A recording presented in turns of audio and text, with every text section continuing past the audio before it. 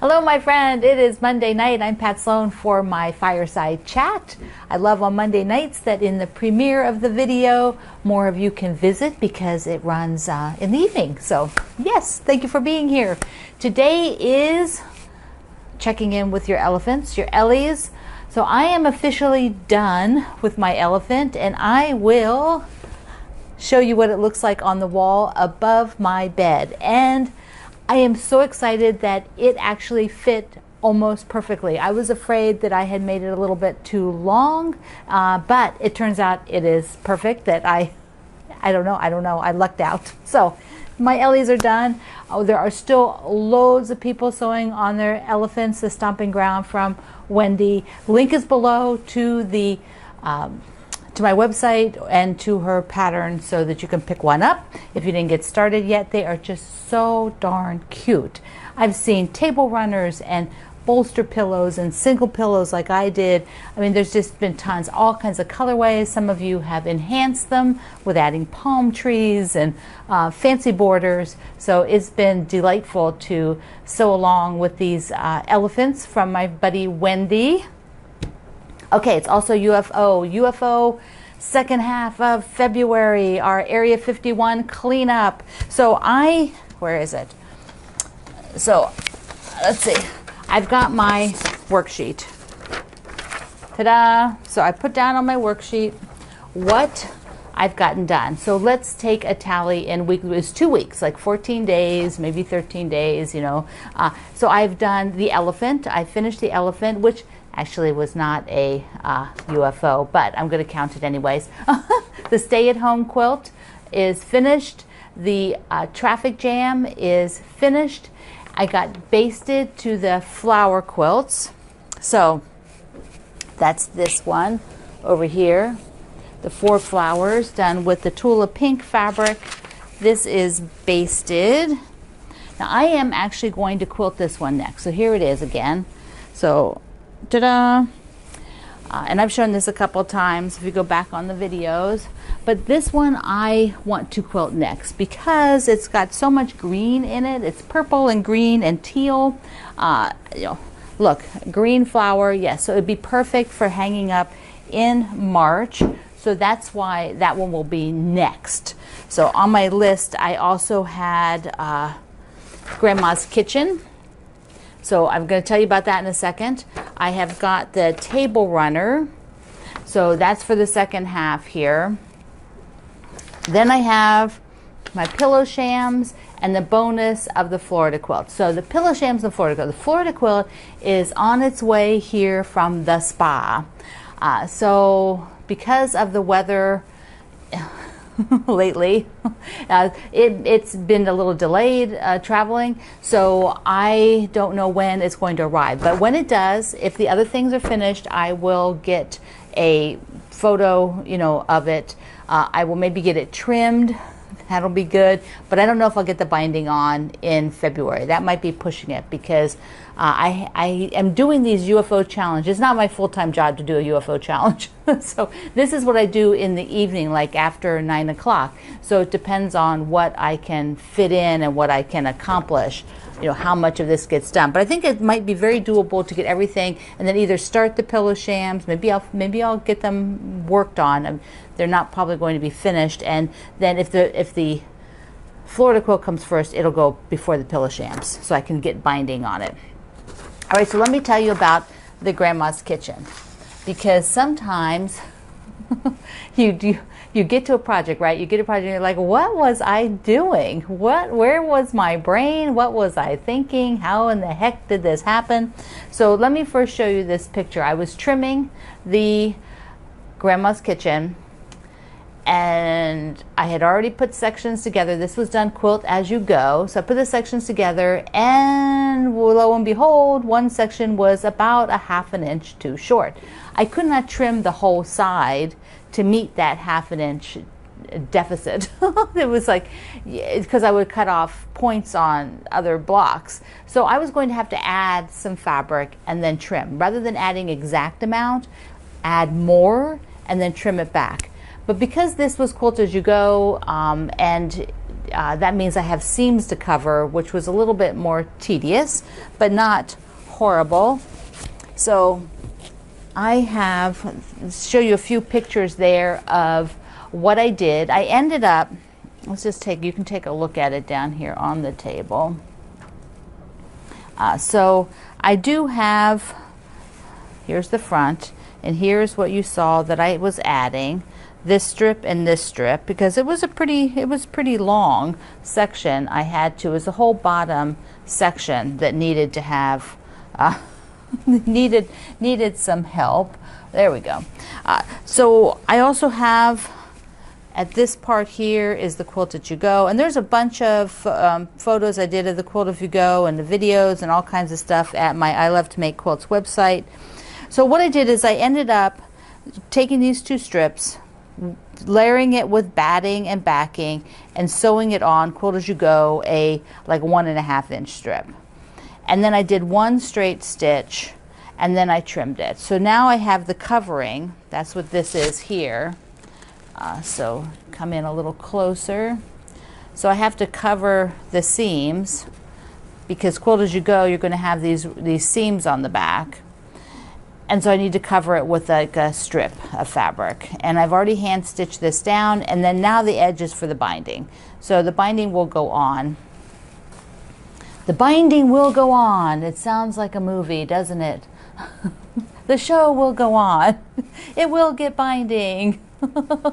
and so I had saved off the stripe, the little green, yeah, the green stripe and I will do the binding with this. And I think I am going to do the binding by machine. Often I like to do the stripes with uh, by hand but I would rather have this done.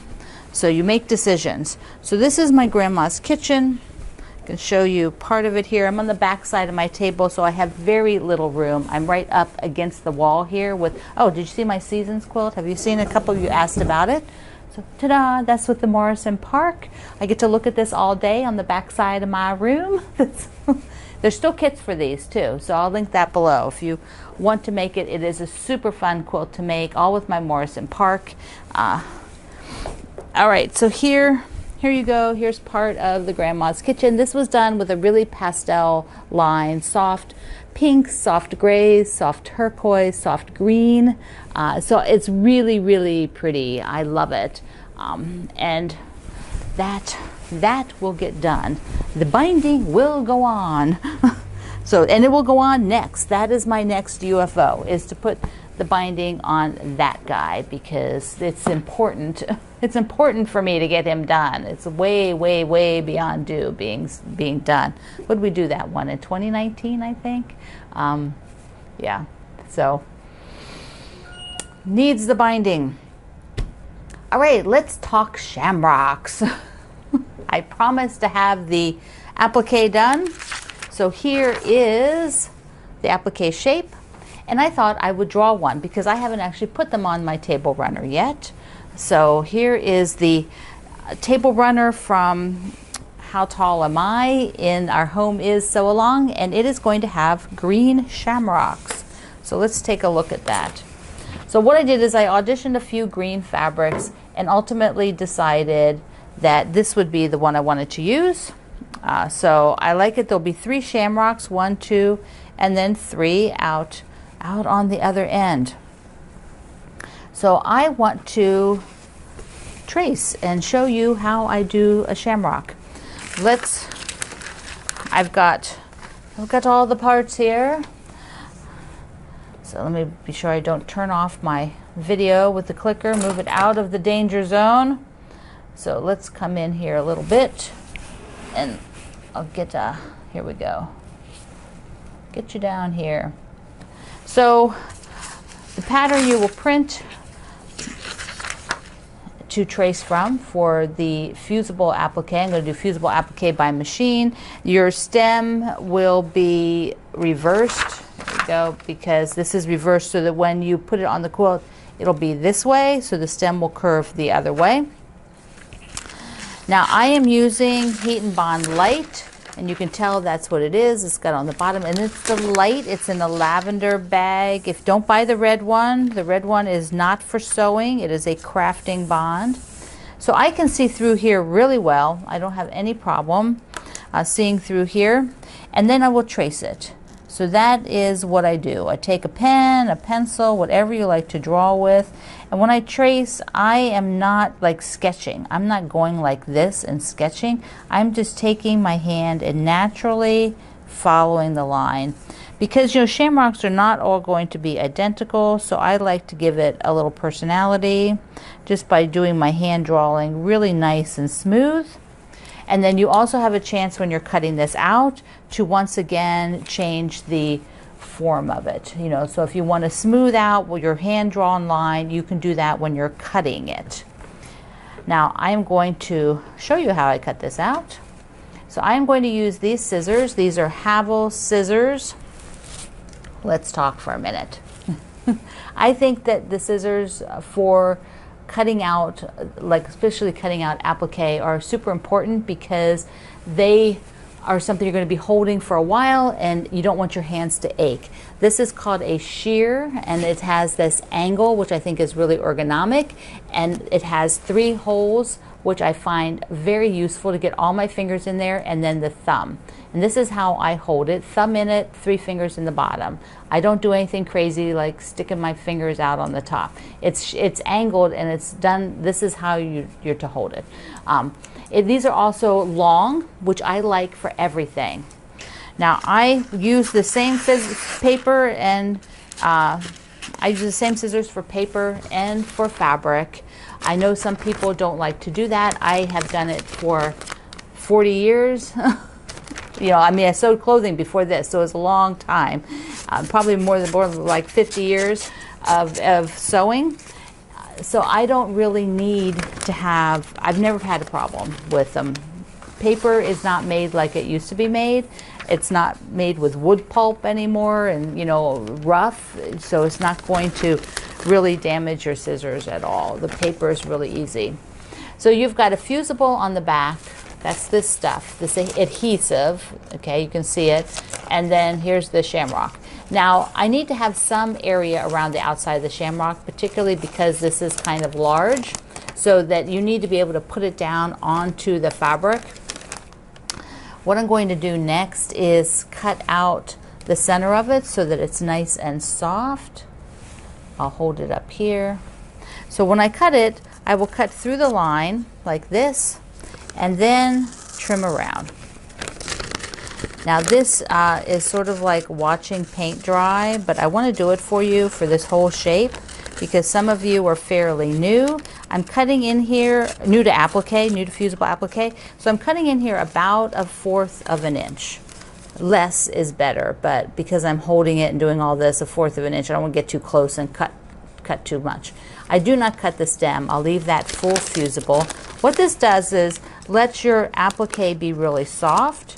This is all outlined and shown in my applique book so that you can see everything step with step-by-step -step photos that I'm showing you here. All right, we're almost done. And then we're going to fuse it to our fabric. Okay, Da, da, da, da, There we go. So now this is the middle. So this is something you can reuse. Like you can go ahead and save this and put, um, you know, make little circles or small leaves or small or other shapes. So put this in a Ziploc bag and save it for another project. This will all go onto your fabric. That is to make the shamrock. And the shamrocks, you know, it's a pretty big shape. It's the size of the, all, the full piece of paper. So I'm working with the little mini Oliso iron, which comes with a uh, stand, you know, a silicone stand here, so that you can put it down. Uh, it's that's how it's made to to sit. So you just pick it up and use it. Now I am on my cutting mat and my table. Normally I would put these on my ironing board just to be absolutely sure no heat is going all the way through. And same with this. I would not lay this on here. I mean, I would not, here I got some, yeah, I would not lay the silicone right on here because it, it, it gets warm. And I don't want to warp my mat or damage my table. So let's just there we go. I need to put get you over on this side. All right. So just for a few seconds, it is not going to hurt anything. It's not like it's heat. It, I just felt it that it's totally fine for the amount of time I'm doing this, but you don't want to do that all for all the time. Uh, now I want to be sure there's no wrinkles uh, because they will change the shape of your applique um, uh, item if you have a wrinkle in there. So here is my shamrock and I will to be sure I've got fabric covering this little wool mat. So this is the little wool mat. They're really thick. The ones that I like I will link below. Okay, so I am going to do the shamrock. Now you can see where I cut through the line to, to cut out of the middle. Uh, and so let me just talk about that one second. So the reason I cut out the middle by by going through the line like this is because I don't want to pinch the fabric. I don't want to pinch the fabric like this. I mean, pinch the paper and the adhesive like this and then cut it and then try to sew out, cut out the middle. Because when you pinch it, you are introducing a release point to the fusible and the paper. When you do that, the paper and the fusible have a higher probability of separating. And if you've done a lot of fusible, you've probably run into some products that separate and you they're, they're unusable. They're, they're aggravating, uh, and so you don't want that. Heat n Bond Lite is super dependable. It rarely releases the fusible from the paper. But if you go around making folds in it, that is how you release the paper. So you don't want to make folds. Okay. So you just cut through the line and you can get right to it. So remember, I am on a wool mat right here, and my whole shamrock fits on the wool mat. See, here's the edge of it. So I will be able to, to do this. Now, what I want to do is I don't want to start pressing at the seam. I want to press, uh, at the cut rather, I want to press on the opposite side, the opposite side of the cut, and press towards it. And then if there's like a little gap, if there's a little gap, or if for some reason it jumps up and folds over. Neither of these are a problem. You will cut it. Even you will cut the final size. This is not the final size. You still have to cut the final size. So you can change and adhere that. And even if there is a small little gap like this, your applique is not going to fall off because you're still going to uh, sew it with your um, your sewing machine. You're going to put on a blanket stitch or you're going to hand stitch it, however you do it. So I'm taking the Oliso iron. I use it on hot and you only hold it a few seconds in each spot. You are not cooking a roast, so you don't want to be uh, holding it down for a really long time. It's just a few seconds, so I'll show you. It's sort of like one, two, three, one, two, three, one, two, three around, one, two, three, and be sure you get all the spots. So, like, you know, in the little uh, insides of each shamrock, one, two, three, and then get the back side here. Okay, so that is my whole uh, shamrock. He's all fused down, so he's not going to fall off at all. And then at this point, I will cut it out. You know, I will cut out the shamrock on the line. Now let me just cut away here a minute and let me talk a little bit about what we have uh, so that you can see what's going on. This is, this is, none of this is hard so far. You have traced, you have cut, you have pressed. Now you're going to cut again, and you're going to press again, and then you're going to sew. Uh, so none of the steps that I've showed you are hard. You do this stuff all the time. You can trace things, uh, and you can cut things on, you know, so you're good. You can do this. There we are. Now to cut this, you cut on the line. You are creating your final shape. This is raw edge applique, and your raw edge will be let me just, I'll just let you watch me while I talk, okay? So your raw edge will be under your thread eventually. Whoops.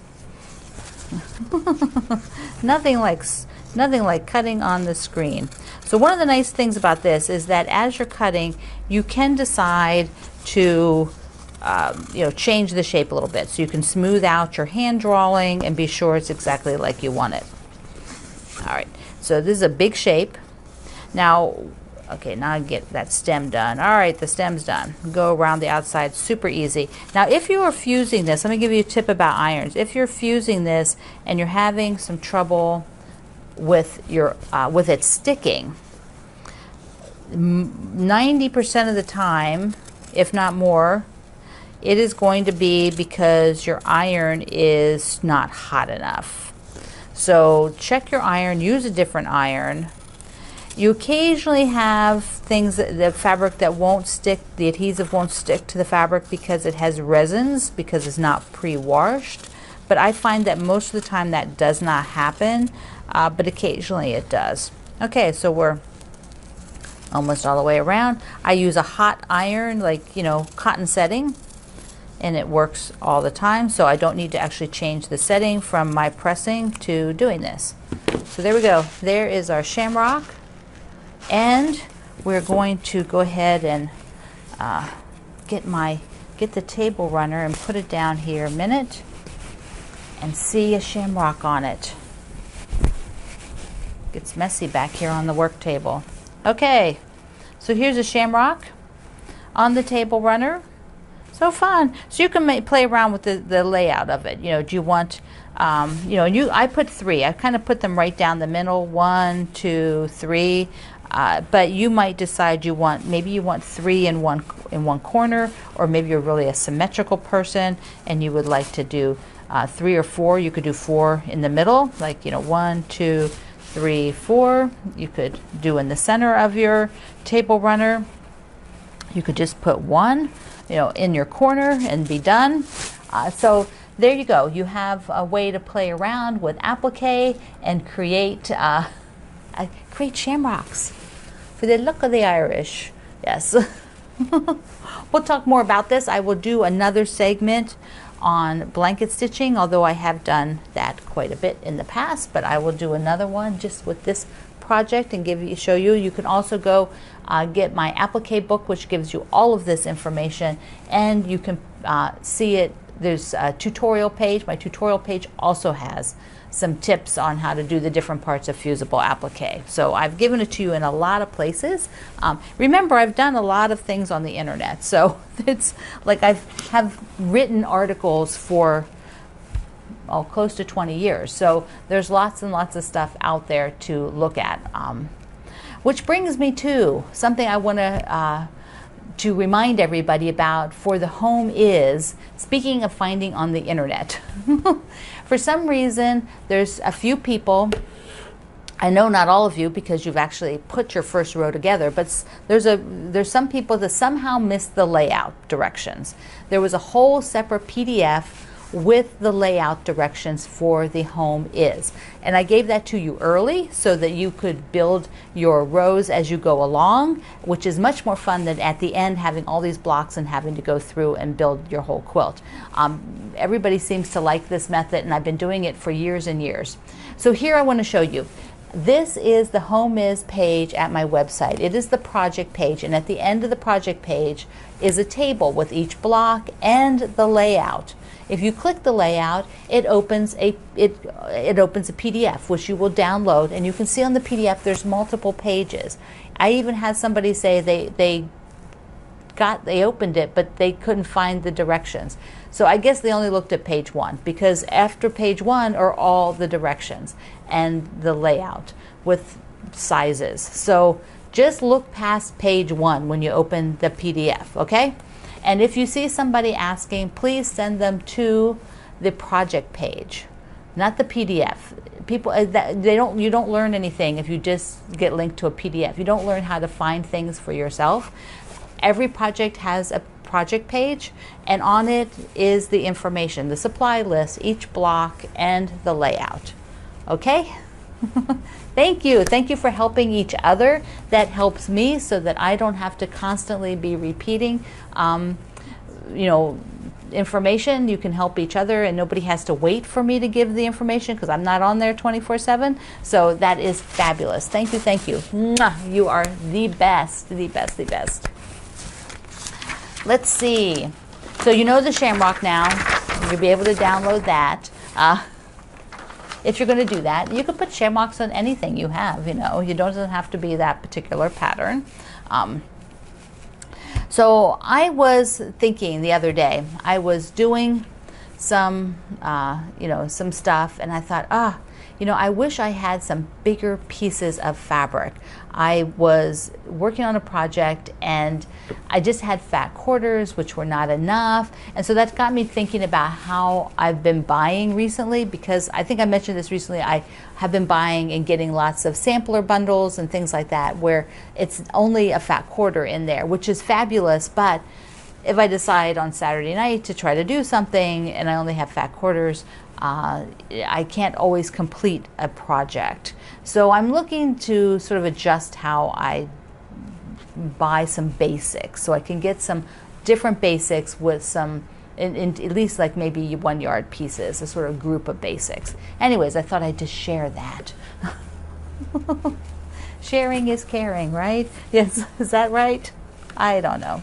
Okay, we also have last thing ta-da-da, is for March, we're going to do a block a day again. We haven't done a block a day for quite a while, and I thought to celebrate March, which is sort of getting out of winter for me, anyways, uh, and also a one year of pandemic craziness, uh, we should do hope. Hope, hope. So this is our March Hope quilt and block. So you can link downlink it at my uh, website today, and it's also on the calendar page at my Sew Along website. I love to make quilts. There's a calendar project page which has all of these daily ones. Now I showed you these fabrics. Let me just pull this over. Here's just a few of them. I showed you this fabric bundle the other day when I mentioned we might do this, uh, and it has some black and white prints. Remember, it had the swan uh, and the black and white and the pineapples and peach and these crazy cats and this awesome whales. Then it has these bigger prints, and I went and had a yellow and a pink. And so I went and found a black and white polka dot and some other small black prints. Um, I'm also going to add in some pieces that are uh, also in these other colors. You know, so like I'm going to go through my own stash and get some turquoises and pinks. I think that'll probably be maybe my heavier focus, turquoises and pinks. Uh, and I may actually remove the green. I might take this green and remove it and just do these salmons and pinks um, and black and white and turquoise. So that is what this, that won't that be like, won't that be so exciting, so like vibrant and happy and just make your soul like sing? That's what I need. I need for March. March hope. So we will do this one block a day. It is an easy uh, square with rectangles. So for those of you, then I do have corners. So for those of you who do not want to do corners, you can leave them off. For those of you who want to spiff up the quilt and do the corners, you can do the corners, which are sew and flip. So it's an option. I like options. I know you like options. Thank you, my friends. Thank you for being here on Monday night. All the links are below. While you're there, if you would subscribe so that we can visit again uh, and you can get a notice and know whenever the new video comes up. Uh, so I love you. Thank you for being here. Mwah. See you online.